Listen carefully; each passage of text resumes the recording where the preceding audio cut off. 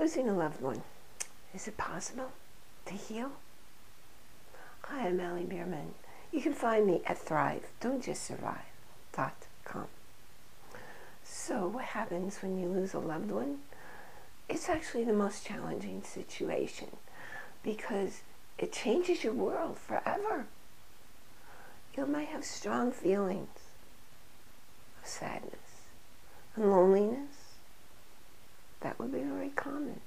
But you also might have feelings like fear, anxiety, guilt, resentment, anger, and maybe even some shame. So those are normal feelings.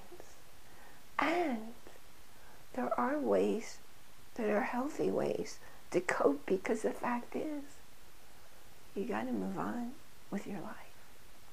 And I'm not just talking about a spouse or partner.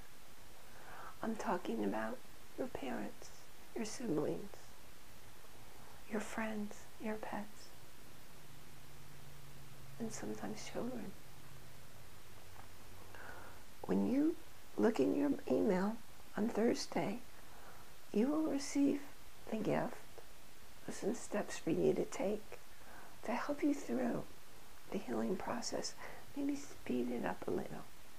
And the one thing I want to leave you with today is that loved one might not be physically present or you can see them, but they're always here in your heart. You keep them alive in your heart. And besides, nobody ever dies. And when you call them, they will come.